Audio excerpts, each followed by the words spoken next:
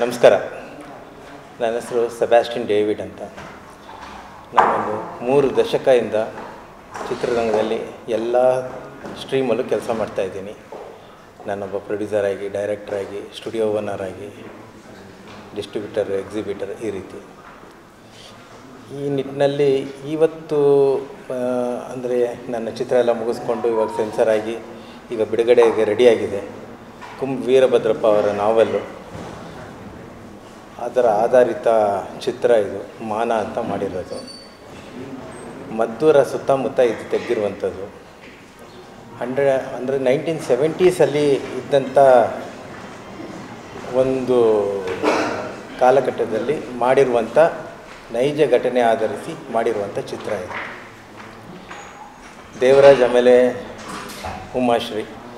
ದೇವರಾಜ್ ಅವರು ಈ ರೀತಿ ಪಾತ್ರ ನಿಜವಾಗ್ಲೂ ಖುಷಿಯಾಗುತ್ತೆ. ಯಾಕಂದರೆ ಅವ್ರನ್ನ ನೋಡಿರೋದು ಒಂದು ಖಡಕ್ ಆಫೀಸರ್ ಆಗಿ, ಆಮೇಲೆ ಒಂದು ಕಮರ್ಷಿಯಲ್ ಹೀರೋ ಆಗಿ ನೋಡಿದ್ದೀವಿ.